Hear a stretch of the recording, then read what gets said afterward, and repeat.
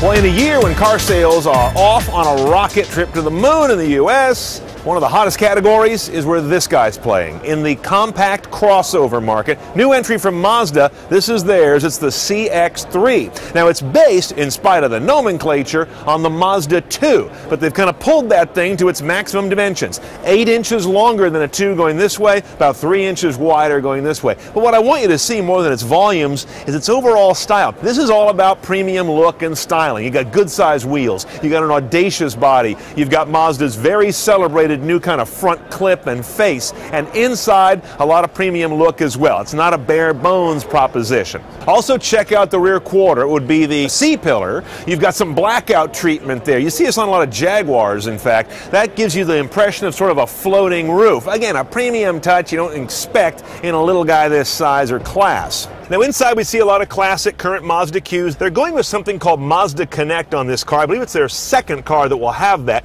They're moving more into a connected apps and infotainment platform. It starts off largely with an LCD panel here, this kind of multi-controller down here, and AHA from Harman bringing in a lot of different services in an audio form. Information, podcasts, radio, even travel information, but all kind of packaged for your ear. And they expect to have more apps supported in that through 2015, which would be a good piece of catch-up for them.